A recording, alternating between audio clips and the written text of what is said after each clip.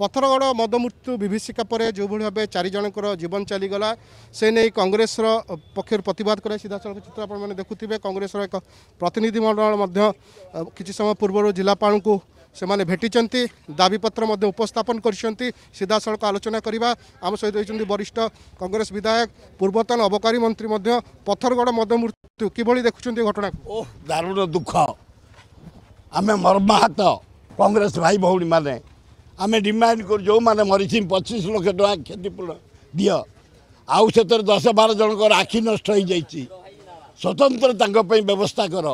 ଆଉ ପାଞ୍ଚ ଦଶ ଜଣ ଡାକ୍ତରଖାନାରେ ପଡ଼ିଛନ୍ତି।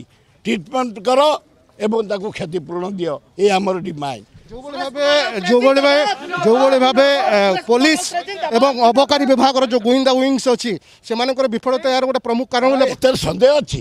ଅବକାରୀ ବିଭାଗ ପୁଲିସ ବିଫଳତାର କାରଣ ଇଏ।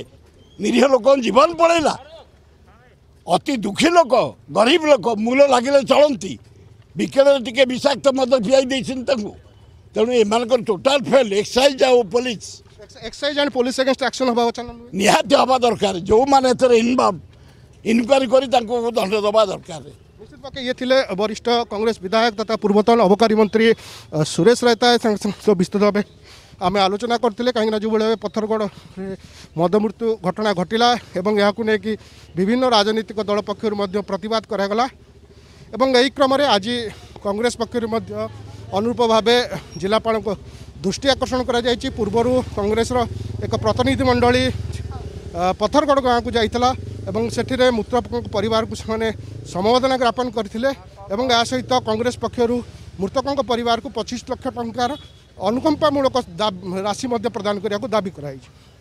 ଅନୁଗୁଳ ଜିଲ୍ଲାପାଳଙ୍କ କାର୍ଯ୍ୟାଳୟ ସମ୍ମୁଖରୁ କ୍ୟାମେରା ପର୍ସନ ମନୋଜଙ୍କ ସହିତ ତପନ ଦାସ ଅର୍ଗସ୍ ନ୍ୟୁଜ୍।